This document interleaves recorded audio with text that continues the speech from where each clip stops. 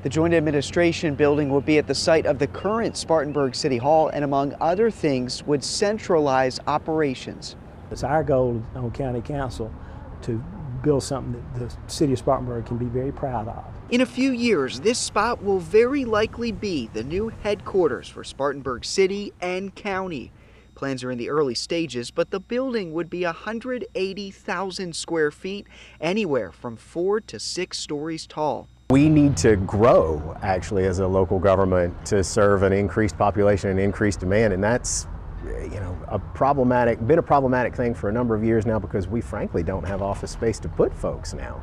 The move seen as an economic boost. This is a, a major collaboration with the county and the city in that we're going to bring the 300 plus employees out of this building and combine them with the city employees downtown and put all those people that close to Morgan Square uh, is just a, I think from an economic standpoint, it's going to be a boom for downtown.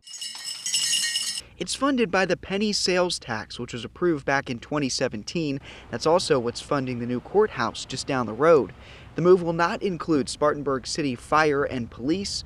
Those departments will eventually relocate to another facility. This site, though, will include a parking garage for up to 600 vehicles.